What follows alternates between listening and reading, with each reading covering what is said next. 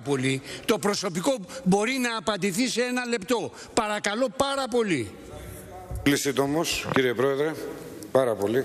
Εδώ έχω τα πρακτικά του ΕΤΑ του 12 που ο κύριος Στασινός ψηφίζει 400 εκατομμύρια ευρώ που το Ταμείο, το ΕΤΑ είναι το υπεύθυνο για το τεχνικό επιμελητήριο. Αλλά αν μη τι άλλο, αν μη τι άλλο, ακούστε, ακούστε. Το, δε, το 14 έχει πάρει απόφαση.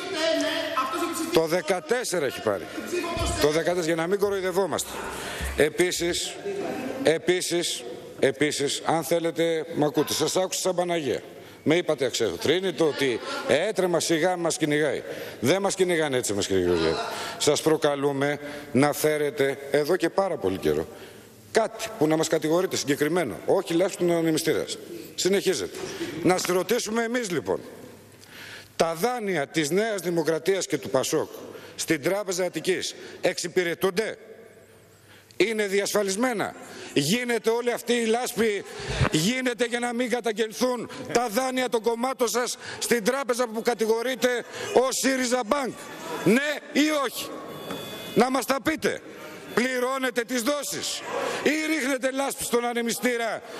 Ναι, ναι, τα είπατε, αλλά να πληρώσετε και κανένα φράγκο στην τράπεζα των μηχανικών. Κύριοι συνάδελφοι, κύριε Να Υπουργέ, πληρώσετε και κάνα νομίζω φράγκο. ότι εξηγήθηκε.